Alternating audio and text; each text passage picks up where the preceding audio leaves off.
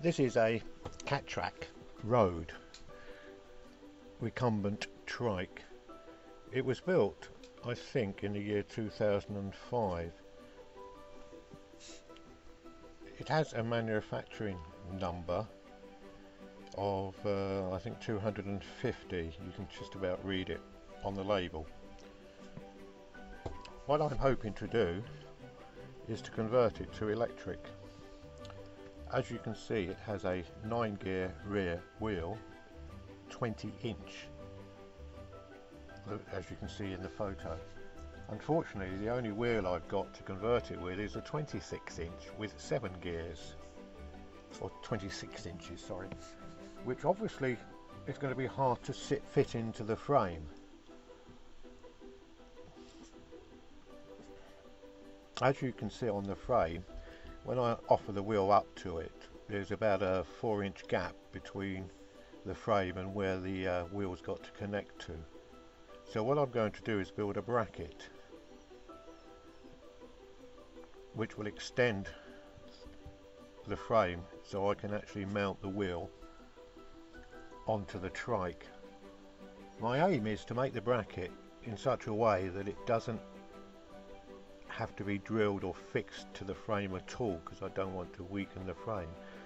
So what we've done is actually cut the metal in such a way that it snugly fits into that sort of egg-shaped cup there and the bolt goes into where the original wheel was bolted. So uh, using uh, the old paper method of marking it out and cutting it with and then obtaining two bits of old metal here and using a hacksaw and a file, old school, I managed to make two brackets which allowed me to fit the wheel to the frame. Uh, and as you can see it actually sits in there better than what I thought. We had to use a few washers so the wheel mounted in the centre as seen in the photo again. The chain obviously had to be extended. That's the electrical box which we fitted uh, on the frame uh, and the control panel and the throttle. I'm not going to fit PAS, pedal assist device, because I think that would be too complicated. We mounted the uh, control panel on the left hand side, having to make my own little bracket again, and the throttle which I mounted upside down on top of the gear change and cut it down so uh, it only uses uh, battery power. Well, unfortunately I didn't have no lithium batteries, but I managed to get hold of four 12 volt lead acid mobility batteries. We did try mounting them on the pannier on the top, but it made the bike so top heavy and unstable. So we decided to uh, make a bracket as shown. Again, not drilling into the frame of the bike whatsoever, just use two U-bolts and fixed it to the frame.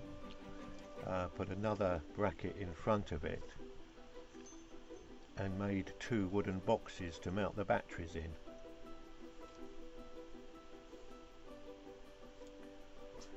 My carpentry skills out of 10 I think score about 2 but I'm, I'm looking for a, a Tupperware type box that I can fit there instead of the wooden ones so the battery boxes look a bit nicer here we go, the battery's all fitted in the boxes and wired up. Put our little 30 amp fuse in line, just to make sure. And here we are trying it out. As you can see, we push the sender button, power on. Batteries are fully charged. The PAS button works, but pointless really because I don't have a PAS system on the bike.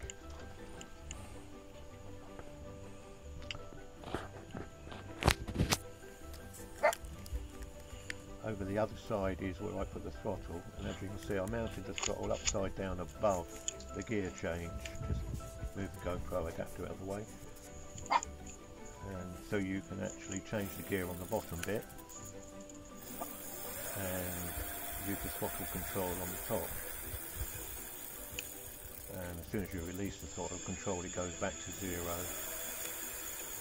So I decided not to put the other brake levers on that automatically stop the motor because as soon as you take your hand off the throttle it stops.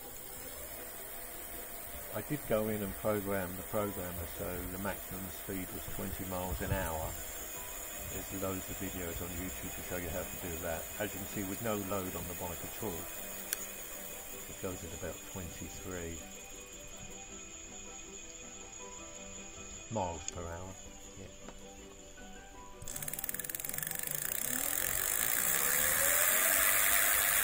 Managed to borrow a trainer, bike trainer which we fitted. So we could put some load on the rear wheel. And when we put the load on the rear wheel and put the throttle up,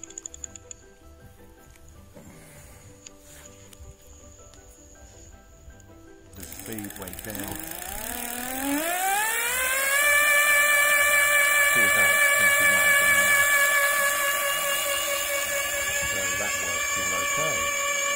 So there's the bike converted. All I need now is to take it out for a road test. Uh, hopefully, hope to do that in the next couple of days and I'll make another video so we can see it on the road.